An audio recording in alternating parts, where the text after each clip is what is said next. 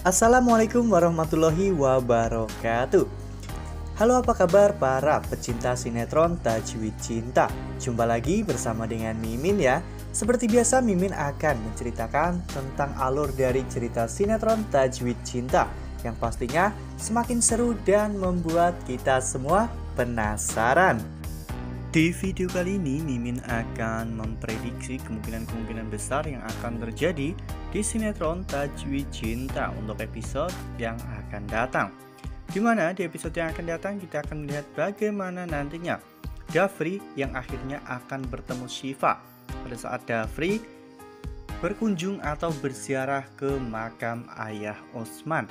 Nah, kira-kira bagaimanakah kisah selengkapnya? Tonton video ini sampai dengan selesai ya.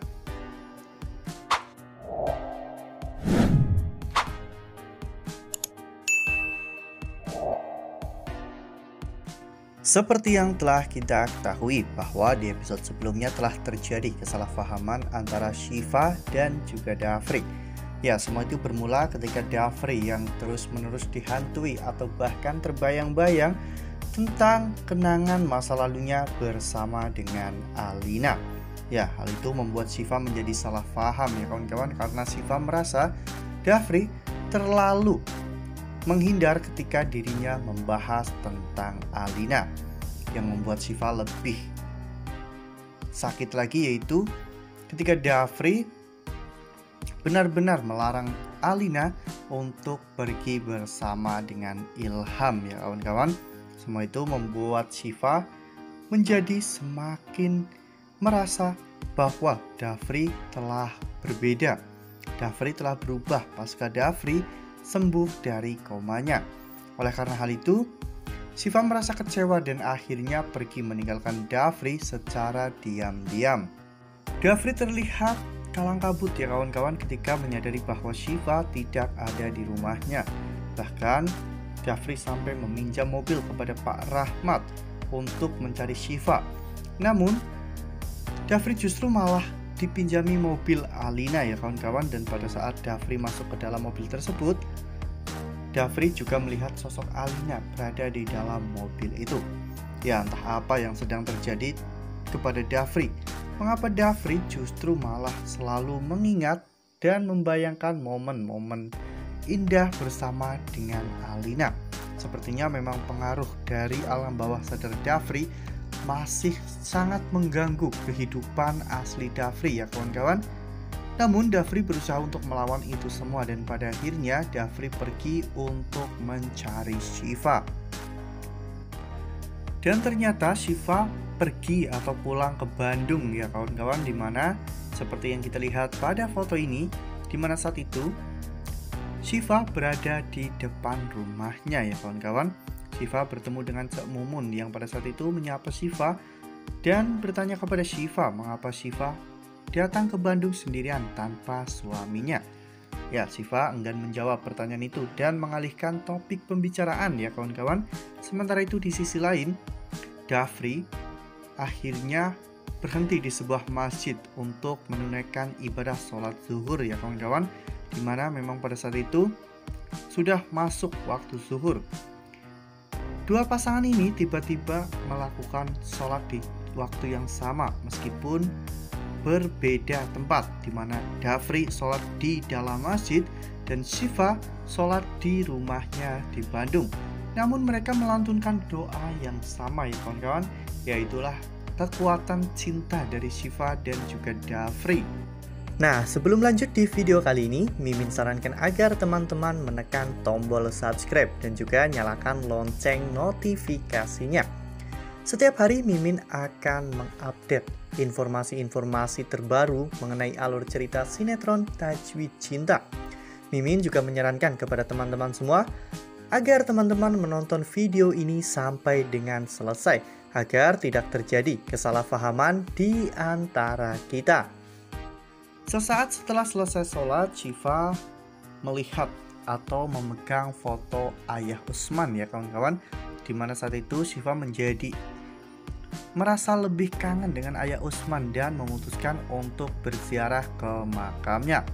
Sementara itu di sisi lain Dafri yang baru saja keluar dari masjid juga merasakan hal yang sama, bahwa Dafri tiba-tiba sangat merindukan ayah Usman dan akhirnya Dafri memutuskan untuk pergi ke Bandung ke makam ayah Usman untuk berziarah. Dafri juga merasa bersalah karena telah membuat Shiva salah paham dan Shiva meninggalkan dirinya. Dafri berharap jika di Bandung nanti dirinya bisa bertemu dengan Shiva dan ternyata pada saat Dafri sampai di pemakaman di sana Dafri akhirnya bisa bertemu dengan Shiva.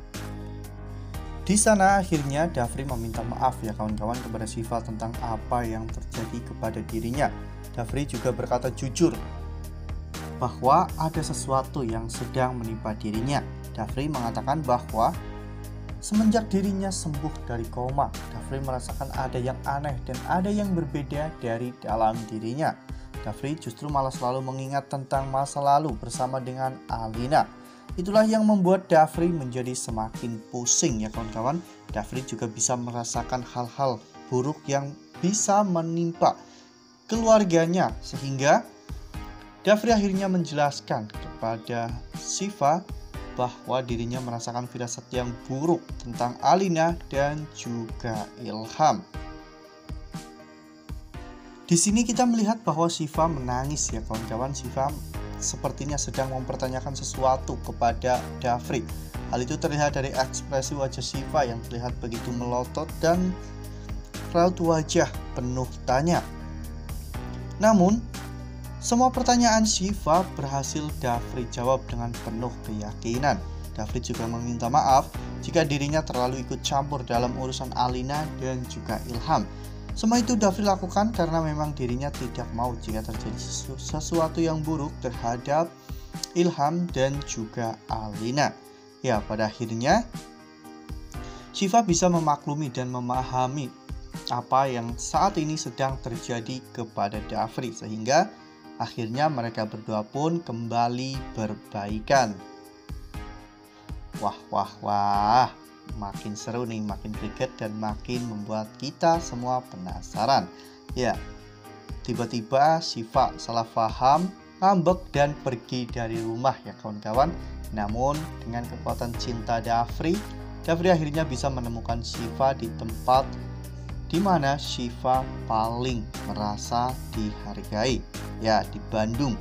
Karena di sana Shiva bisa berziarah atau berkunjung ke makam ayah Osman. Akhirnya mereka berdua pun kembali ke Jakarta dan mereka berdua kembali saling memaafkan ya kawan-kawan karena memang seharusnya tidak ada kesalahpahaman ini karena memang Shiva terlalu cemburu dan mungkin Siva belum bisa memahami kondisi Dafri saat ini sehingga terjadilah kesalahpahaman ini. Namun untung saja, setiap permasalahan yang terjadi dalam rumah tangga Siva dan juga Dafri selalu selesai dalam waktu 24 jam sehingga permasalahan mereka tidak terlalu berlarut-larut ya kawan-kawan. Nah, itu adalah prediksi dari Mimin. Lalu bagaimana dengan prediksi teman-teman semua? Tuliskan pendapat teman-teman semua di dalam kolom komentar ya. Nah, Mimin rasa cukup sampai di sini. Mimin memberikan informasi seputar alur dari cerita sinetron Tajwid Cinta. Terima kasih untuk teman-teman semua yang sudah menonton video ini sampai dengan selesai. Ambil sisi positifnya dan tinggalkan sisi negatifnya karena cerita ini hanyalah 50 belaka. Wassalamualaikum warahmatullahi wabarakatuh.